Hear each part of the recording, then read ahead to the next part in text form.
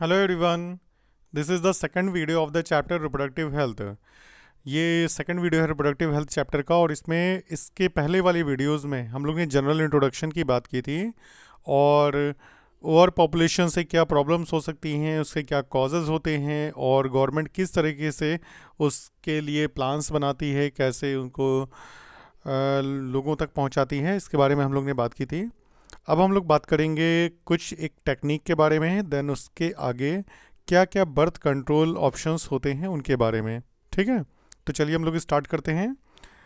Amniocentesis ठीक है? ये एमनियोसेंटेसिस प्रोसेस है। एमनियोसेंटेसिस एक्चुअली एक टेक्निक है एक मेथड है।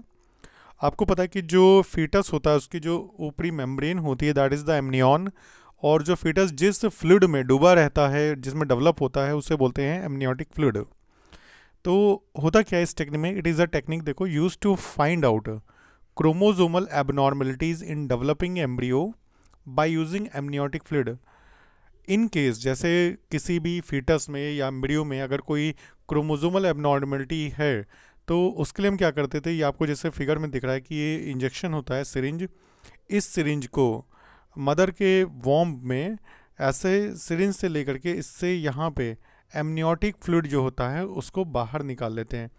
जो एमनियोटिक फ्लूड इस सिरिंज से, जो उसकी स्किन है, फेसिया है, यूट्राइन वॉल है, एमनियोटिक कैविटी में जो एमनियोटिक फ्लूड होता है, उसको बाहर ले लेते हैं और उस फ्लूड में बहुत सारी फीटल की सेल्स होती हैं, फीटल सेल्स होती हैं। फिर उनका कैरियोटाइप लेकर मतलब उनका क्रोमोजोम्स पैटर्न देखते हैं, उसके स्टडी करते हैं कि उसमें कोई क्रोमोजोमल डिसऑर्डर है या नहीं है।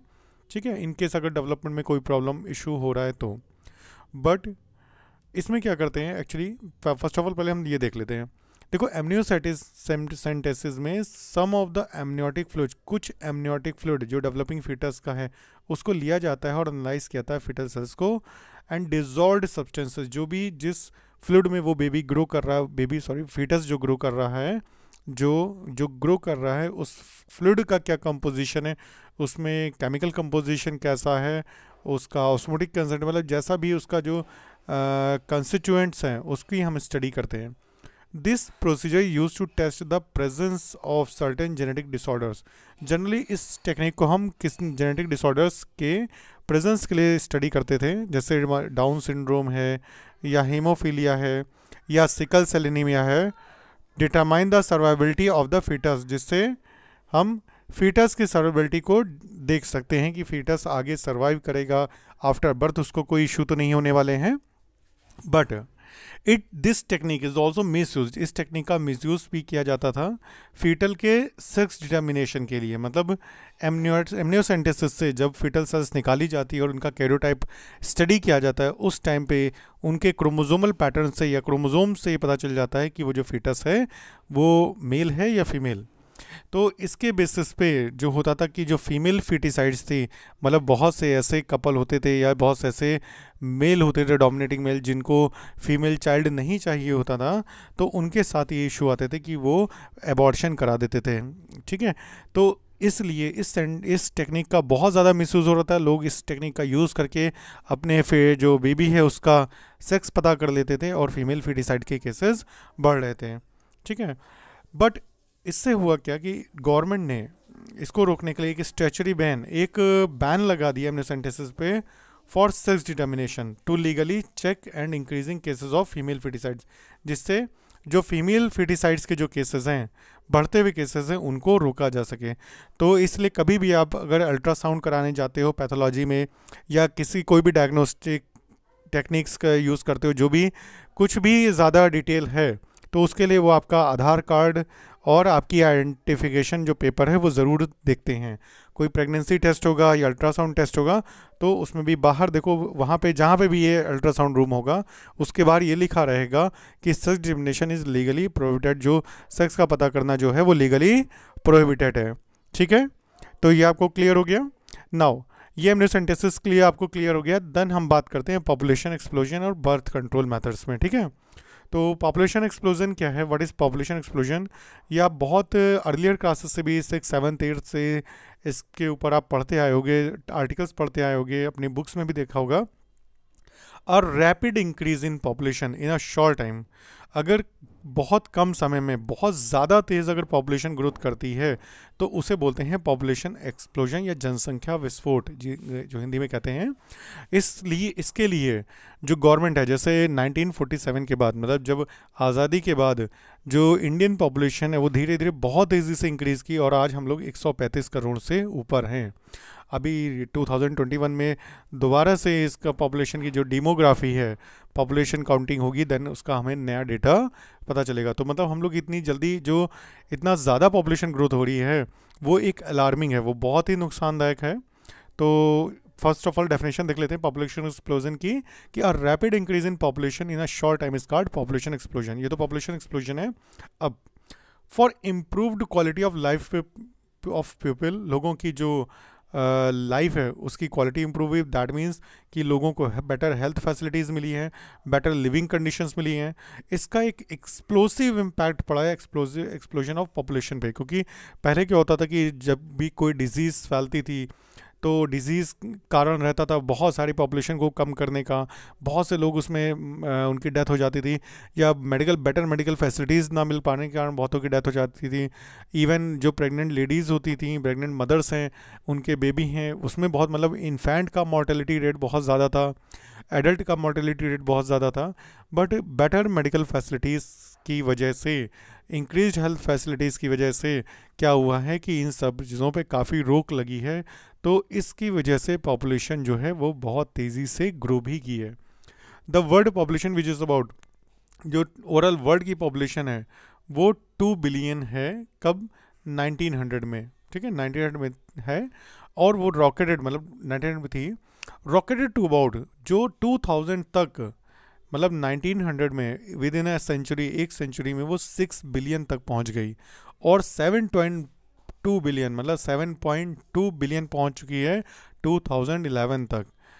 A similar trend was observe in India और ये जो, जिस तरह का ये अलार्मिंग फ़ेज़ ऑफ़ ग्रोथ दिख रहा है, इस तरह का एक सिमिलर ट्रेंड इंडिया में भी सेम है, क्योंकि इंडिया की पॉपुलेशन भी इसी रेट पे बढ़ी है।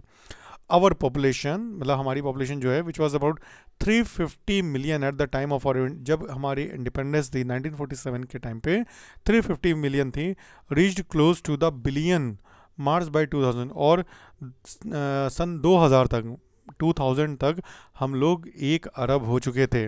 And crossed 1.2 billion in May 2011 और मे 2011 तक हम लोग 1.2 बिलियन हो गए। ठीक है? और अब आगे मई 2021 में हम लोग को इसका नया डेटा मिलेगा, जिसमें देखते हैं हम लोग की क्या पॉपुलेशन ग्रोथ होती है। तो रैपिड डिक्लाइन अब क्या रीजंस थे इसके? Rapid decline in death rate जैसे हम लोग ने बात की कि जो डेथ रेट था उसमें बहुत डेथ रेट में कमी आई। M M R maternal mortality rate जो है मतलब जो प्रेग्नेंट मदर है, उनका मॉर्टेलिटी रेट कम हुआ। आई एम आर इन्फेंट का मॉर्टेलिटी रेट कम हुआ along with increase in population of reproductive age और लोगों की जो रिप्रोडक्टिव एज है मतलब जो एडल्ट है, उनका मॉर्टेलिटी रेट कम हुआ तो जो पीपल रिप्रोडक्टिव एज में थे, फिर उससे उनमें पॉपुलेशन जो थी, वो बहुत ज़्यादा बढ़ने लगी। ये कुछ मेन रीजंस थे पॉपुलेशन एक्सप्लोजन के। ठीक है? तो ये क्लियर हो गया। Now according to 2001 census report अगर हम 2011 की सेंसस रिपोर्ट को देखें तो उसके अकॉर्डिंग जो पॉपुलेशन ग्रोथ रेट था, वो दो परसेंट से कम था। दो परसेंट का मतलब है twenty new individuals per thousand individuals per year. At a rate इस रेट में, ये रेट था जिसमें हमारी जो पॉपुलेशन थी, वो बहुत तेज़ी से रैपिडली इंक्रीज कर रही थी। Such an alarming growth rate ये बहुत ही ज़्यादा अलार्मिंग ग्रोथ रेट है which could lead to absolute scarcity of the event of basic अगर यही ग्रोथ रेट चलता रहा तो बहुत जल्दी बहुत ही ज़्यादा कमी हो जाएगी हमारी बेसिक रिक्वायरमेंट्स की। इवन बेसिक रिक्वायरमेंट जो हमारी रोटी, कपड़ा, मकान जिसे हम बोलते हैं फ़ूड शेल्टर एंड क्लोथिंग इनकी भी बहुत ज़्यादा कमी हो जाने वाली है। अगर इस अलार्मिंग ग्रोथ रेट को कम नहीं किया गया तो। In spite of significant progress made in those areas चाहे कंट्री कितनी भी डेवलप हो जाए, अगर उसकी पॉपुलेशन को कंट्रोल नहीं किया गया तो बढ़ती हुई पॉपुलेशन बड़ी से बड़ी डेवलप्ड कंट्री को भी वो क्या कर, ख़त्म कर सकती है। Therefore the government has was forced इसलिए गवर्नमेंट को ज़बरदस्ती, बलपूर्वक to take up serious measures बहुत ही गंभीर कदम उठाने होंगे to check this population growth rate इस पॉपुलेशन ग्रोथ रेट को रोकने के लिए। ये बहुत ज़रूरी है। Steps to overcome population explosion और जिस तरह का अलार्मिंग ग्रोथ में पॉपुलेशन बढ़ रही है, उसको रोकने के लिए कुछ स्टेप्स हैं। जैसे first of all to motivate for using various contraceptive methods लोगों को मोटिवेट करना यूज़ करने के लिए बहुत सारे कंट्रासेप्टिव मेथड जिससे वो अपनी फैमिली प्लानिंग कर सकें और बहुत ही ज़्यादा मतलब बच्चों को ना जन्म दें। ठीक है? नाउ सेकंड, एजुकेटिंग पीपल, लोगों को शिक्षित किया जाए about the demerits of large family जिससे उनको बड़े परिवार से होने वाले जो डिसएडवांटेज है, जो नुकसान है, उनको बताया जाए कि जिससे वो बहुत ज़्यादा बड़े परिवार में फिर वो अपने बच्चों का पालन पोषण सही से नहीं कर पाते हैं, जिससे क्या होता है कि वो एक तरीके से गरीबी रेखा के ऊपर नहीं आ पाते हैं, हमेशा गरीबी रेखा में ही रहते हैं। इंक्रीज द मैरिजेबल एज और जो लोगों की मैरिजेबल एज है उसको बढ़ाया जाए फीमेल के मेल की, क्योंकि अगर अर्ली जल्दी मैरिज होगी, अगर पहले 14 इयर्स या 15 इयर्स में शादी हो जाती थी तो उनकी रिप्रोडक्टिव एज बहुत लंबी होती थी, जिसमें से उनके जो ऑफ़ स्प्रिंग्स होते थे, उनके जो नए उनके संतानें थे, उनके ज़्यादा होने की चांसेस थी, जिसको बढ़ा करके 21 और 2018 किया गया है। तो इसको बढ़ाया जाता है, जिसकी वजह से जो पॉपुलेशन है उस पर थोड़ा सा रोका है क्योंकि एडोलेसेंट फ़ेज़ में मैरिज हो जाने पर जो होता है लोग प्रॉपरली एजुकेट नहीं होते हैं लोगों को पता नहीं होता है और इस तरीके से उनको आ, लोगों को बताया जाता है उनको पढ़ाया जाए लोगों को शिक्षित किया जाए जिससे लार्ज फैमिली से होने वाली डिमेरिट्स को वो जान सकें। नाउ प्रोवाइडिंग इंसेंटिव्स लोगों को टू पेरेंट्स हैविंग जिन बच्चों के जिन पेरेंट्स के एक दो बच्चे हों उनको इंसेंटिव्स दिया जाए, उनको इस अच्छे कदम के लिए उनको मोटिवेट किया जाए, उनकी हेल्प की जाए, जिससे लोगों को भी इससे शिक्षा मिले, लोगों को भी एक छोटी फैमिली से होने वाले जो प्रॉफिट्स हैं, उनके लिए वो इस पॉपुलेशन को रोकने में बहुत हेल्प करें।